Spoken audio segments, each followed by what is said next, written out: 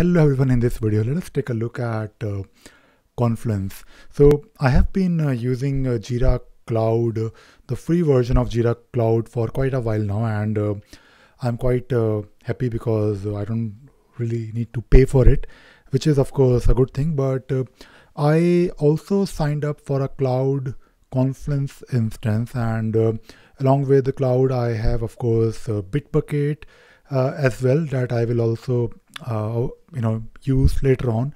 So I'll show you how to use uh, Jira, Confluence, and Bitbucket, all these three tools together on the cloud. Now let us you know quickly take a look at cloud and uh, uh and do some uh, configurations or maybe just you know start using it. So when you sign up for of course Jira, you have the option to also uh, sign up for Confluence. And if you go to the left hand side sidebar of your uh, cloud application, you have the op option to switch to maybe uh, Jira Software, Jira Service Desk, or maybe Confluence and also Bitbucket. So uh, let me do one thing first. Let me show you the billing uh, of uh, my uh, of my cloud instance because I just want to show you how it works. I mean the plans that you can use on the cloud. So if you go to the billing section, you will be taken to a place or a section where you can change the plan if you have to change the plan if you're using maybe a free version or maybe a standard version. So right now if I look at the manage uh, subscription option here on the left hand side I can take a look at uh, the uh, the billing estimate. And of course I'm using a free version of uh, everything. So I'm not really paying anything. The bill estimate is zero. But uh, the important thing here is to understand that you can also use Confluence uh, for free.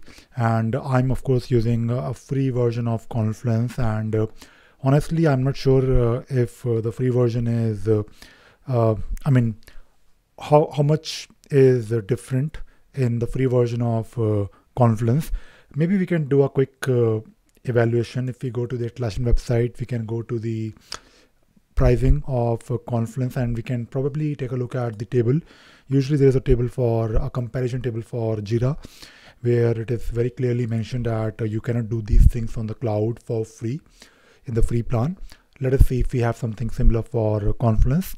So if I click on the pricing option on top for Confluence, uh, let me see if uh, I can uh, take a look at uh, this table. So yes, there is a table. And uh, even on the cloud version, the permission is not there. So the very next thing uh, apart from uh, unlimited spaces and pages is uh, the inability to create a I mean to manage the page and space permission which is fine I think uh, uh, I mean to be honest we don't really uh, I mean for free I'm sure you can live without the permissions and more or less I think if you have unlimited spaces if you're able to integrated with Jira, I think that should be more than enough. So let us go back to the uh, to the instance to the application, and uh, if we switch to the Confluence application, we can start using it. So what I will do, I'll click on the link, and uh, on top you can see here that the URL has this suffix called wiki. So everything that you do after wiki or you know your Atlassian uh, cloud instance slash wiki uh, is nothing but your Confluence. So right now we are in the Confluence and uh, the interface is quite similar to Jira, which is fine. Uh, we also have the update from uh, the uh, Jira, I believe, because it will show us all the projects that are getting created, I believe, or maybe something else. Uh, we have this activity feed, which is fine. But I want to actually create a, a space just like you have a project in Jira, you have a space in Confluence, and when you create a space, you have to use a template. So we have, of course, a lot of templates that you can uh, use. Let us click on this link called uh, six new items have been added. So I believe there are more uh, templates. So the first option is a blank space, personal space, documentation space, knowledge base, software project space, team space. So basically you have the option to use these predefined templates and uh, let us uh, use maybe uh, a software project space. And if you click on it you can click on the next button and uh, you can link it to a project which is good. Maybe you want to link it to your uh, project in Jira. And when you link it to your project in Jira, you will have the uh, integration already in place. And you can do few things like view the Jira status information in your Confluence page. You can create a report within Confluence and you can have those uh, gadgets, your familiar Jira gadgets like pie chart, uh, and of course few other gadgets that you can uh, view in Confluence, but you can also write on top of it. So basically you can have uh, maybe a customized report where you have the real-time information of your Jira project and you can probably build some reports you can write some brief you know some write up or maybe a brief and you can prepare uh, your own customized reports with your own custom text. So let us uh, link it to bug tracking uh, project in jira. And uh, the space permissions is not enabled which is something that we know already. If you click on the create button we will have a new space with uh, some template. And I just want to see how this template uh, uh, I mean how it looks like. So when you click on the button you will have a space ready for you. And it says welcome to your new software project space and uh, you can do few things like uh, you can take a look at this temp template already. And uh, the good thing is that uh, it will uh, create a roadmap for us. Of course you can modify it if you want edit this roadmap planner. Uh, and you can also I mean I just want to click on it and I just want to see how it behaves. So if I take a look at a different issues that are actually coming from Jira and this table is actually showing me the information of the Jira issues, which is real time. So I have uh, this BT-4, BT-3, and so on. And this is, I believe, my uh, uh, my Jira task, and this is a bug, and I can see the information about the status, the assignee, and the resolution. And this is a real-time uh, table. And you can, of course, modify this uh, welcome page if you want. And uh, the good thing about this this roadmap is that you can change it and you can uh, maybe uh, link it to your actual activities in uh, Jira. And I think this is a good place where you can start planning something before you move to Jira. So when you have a space, you can start uh, creating a page. So if you click on the plus sign on the left hand side, you can uh, create a page within a space. So uh, again, when you when you create a page within a space, the space right now is bug tracking you will have the option to again select uh, a type of a page. So this is a bit similar to Jira when you have Jira projects. Your projects can have a purpose or maybe it can have uh, some kind of a template or set of configurations like software development scrum or maybe Kanban or service desk or maybe simple bug tracking.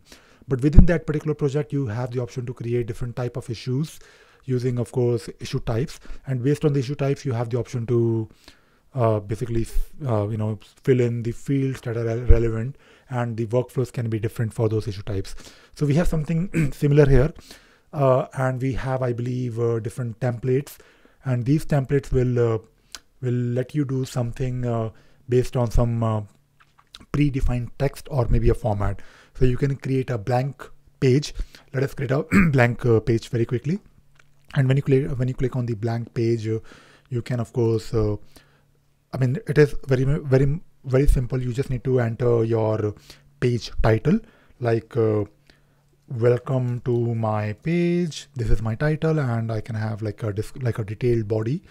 This is my body, and you can do a lot of things here because on top you have the option to do formatting, and there are a lot of different things that you can do here. You can uh, insert some macros, and macros will add uh, you know some power to your page. Macro using a macro you can add uh, jira reports that will show you the jira uh, report status uh, or maybe you can display a pie chart within your page. So we'll, we'll of course uh, take a look at it when the time comes in this video we are just doing a quick quick check on how confluence the free version of confluence works so we can create a blank page, which is nothing but a page title and a body. But if I click on, let us say meeting notes or maybe product requirements, maybe you're working on some software and you want to start working on the requirements first. So when you click on this uh, product requirement, I believe uh, the template will be uh, quite different. And uh, let us wait for it to load completely. So so far it looks similar to no it, it doesn't it, doesn't look similar to a blank page. You have of course on top uh, your uh, your title. So you can have a title like project requirement and you can fill in some text. You can have uh, maybe a target release uh, uh, date or maybe you know some kind of a version. Maybe you want to release it in version 1 or maybe uh, you want to re release it by a specific date. So you can actually uh, use this to create some kind of a requirement document. And you can uh, of course uh, do some brainstorming. When you're working in confluence people can collaborate. They can add comment and so on. And you can also link it to maybe your epic in uh, jira and of course uh, for doing this uh, integration you need to uh, maybe either use a macro or maybe you need to first make sure that you have a project linked to your your space.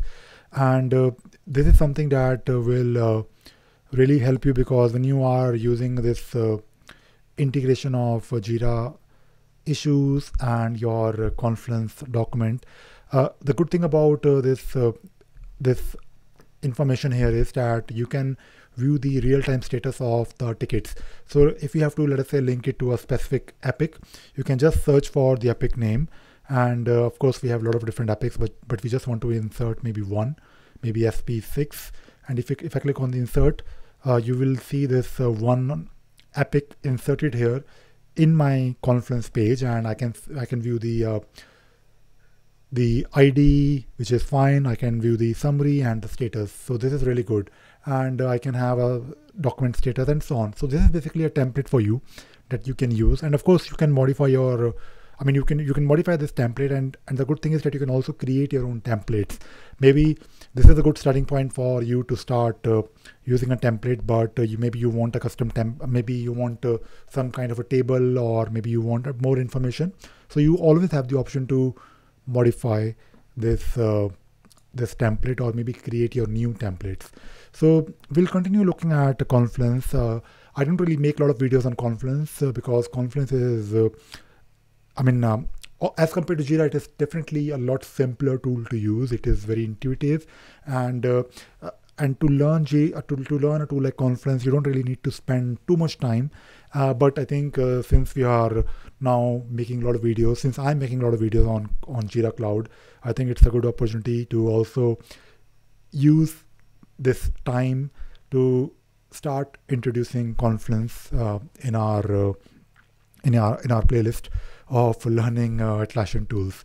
So we'll continue looking at uh, Confluence and uh, we'll uh, take a look at uh, what all you can do with uh, this integration of Conf Confluence and Jira and how you can use effectively Confluence in your organization for maybe doing some brainstorming or maybe you want to use it for document management, not really document management, for maybe for knowledge management, or maybe you want to use it for collaboration within your team, or maybe you just want to use it for building a report.